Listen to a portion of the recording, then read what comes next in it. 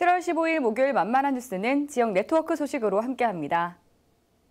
전북 산악연맹이 건강한 산악문화 교육과 올바른 등산문화 정착을 위해 오르락 내리락 청소년 꿀잼 등산 교실을 운영하고 있습니다.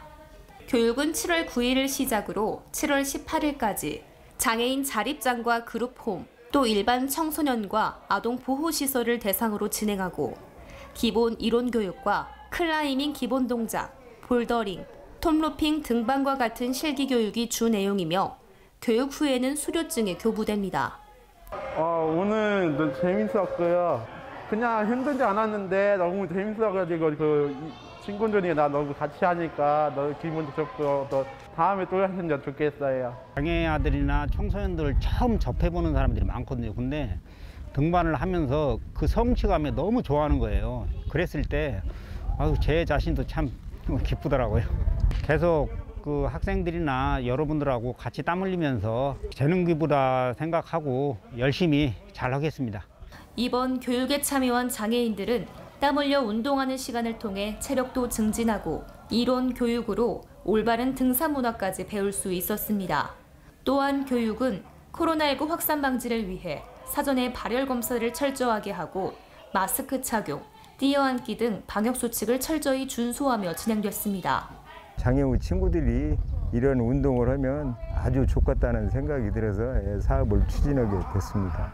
이게 정신건강에도 아주 좋고 좋은 추억도 되고 어떤 생활에서 많은 도움이 됐으면 합니다.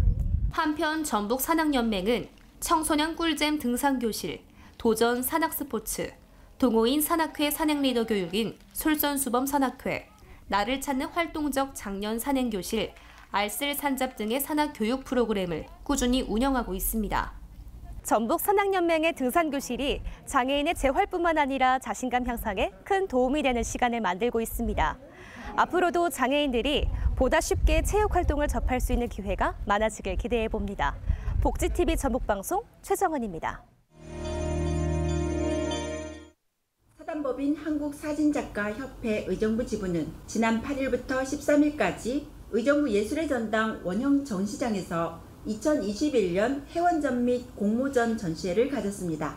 뜨거운 열정과 또 어, 소망을 담아서 어, 만들어 주시고 전시하는 이 작품들이 47만 의정부 시민의 가슴에게 힘들고 어렵지만 함께 사랑과 희망을 나누는 그런 어, 따뜻한 전시회가 될 것 같습니다.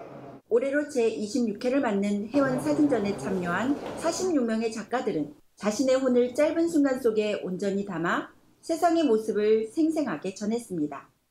참가하신 작가님들의 독창적인 앵글과 높은 작품성으로 배원전을 빛내주고 있습니다. 오늘 이 전시회를 통하여 의정부 시민들과 지역사회 인근 주민들께 큰 감동을 받고 감사의 말씀을 드립니다. 회원 작품들과 함께 매년 의정부에서 시행되는 회룡 전국 사진 공모전 수상작들도 함께 전시해 볼거리를 더한 가운데 물술의 먹이 사냥 순간을 놓치지 않고 프레임에 담은 서성진 작가의 작품 삶의 현장은 이번 공모전 금상을 수상하며 관람객의 눈길을 끌었습니다. 작품들이 너무 좋네요. 앞으로도 이런 전시회가 많이 열렸으면 좋겠습니다.